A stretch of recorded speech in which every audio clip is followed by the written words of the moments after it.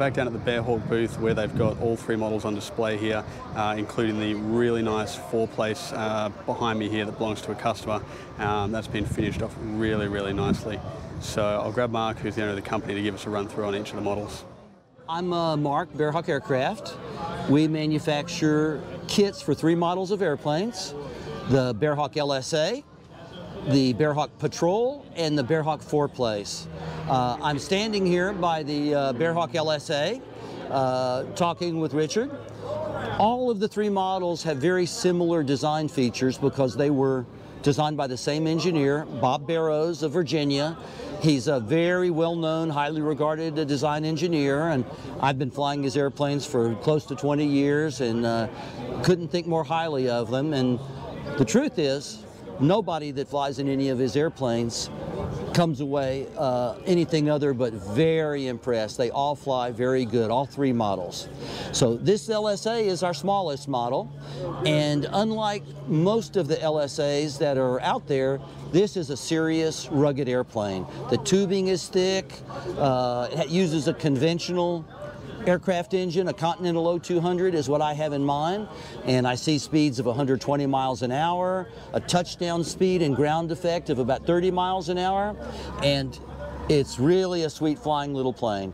Everybody who I turn loose in this airplane, my friends, they uh, everybody loves it. Uh, so I, uh, I really think you'd uh, enjoy it if you're thinking about a light airplane to maybe replace an Aeronca, a Taylorcraft, those old Cubs. Uh, this is a great option.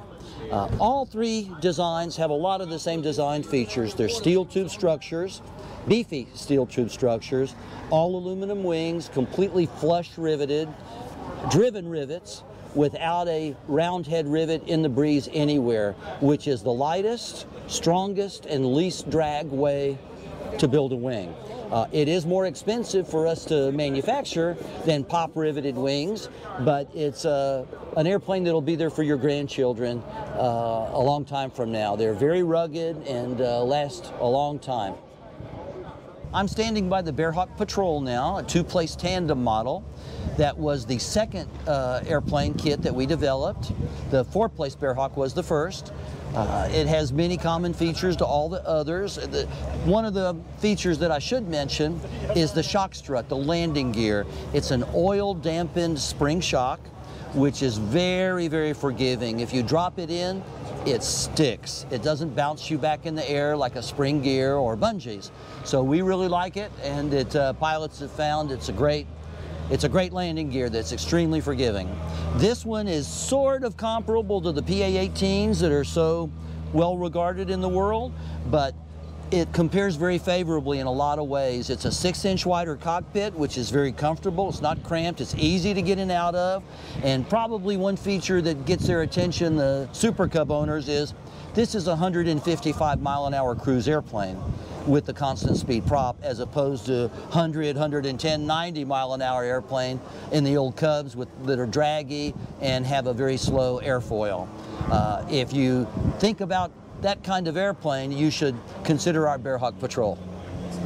Now I'm standing by the Bearhawk 4 place which was the first kit that we put in production back in 2001. It's a great flying airplane. Uh, there's not a lot of four-place home builds.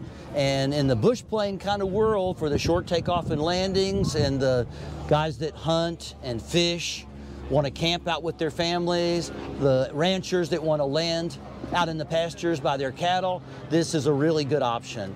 It has a cruise speed uh, with a fixed pitch prop over 140 miles an hour and over 155 with the constant speed prop. A uh, lot of room. Uh, there's a lot of uh, lot of them flying now. There's a, almost 150 Bearhawk four-place airplanes flying out there, and again, everybody loves them. Common design features with the other models, but it's uh, for the if you have a family, more than just two seats is your need. This is a great airplane for you to consider. They can be built from 180 to 250 to 60 horsepower. The bigger engines provide very exhilarating takeoff and climb, while the smaller engines are very adequate and you have a little more useful load. These planes uh, feature a gigantic cargo door in the back, which is really useful for loading all this stuff. You know, when these guys go out in the four-place Bearhawk with their buddies and the Cubs, and these are the guys that take the ice chests and all the gear that makes camping out in the country uh, very, very uh, useful. So you can see here how big this opening is. Tremendous amount of gear that can be put in this airplane. I did a little video once that showed unloading my Bearhawk and I basically filled up the back of my pickup truck with what you can fit in the back of this airplane. Uh, but the main thing is it's a spectacular flying airplane as people see when they get demo flights and if you need a four place tailwheel airplane, this is a great option.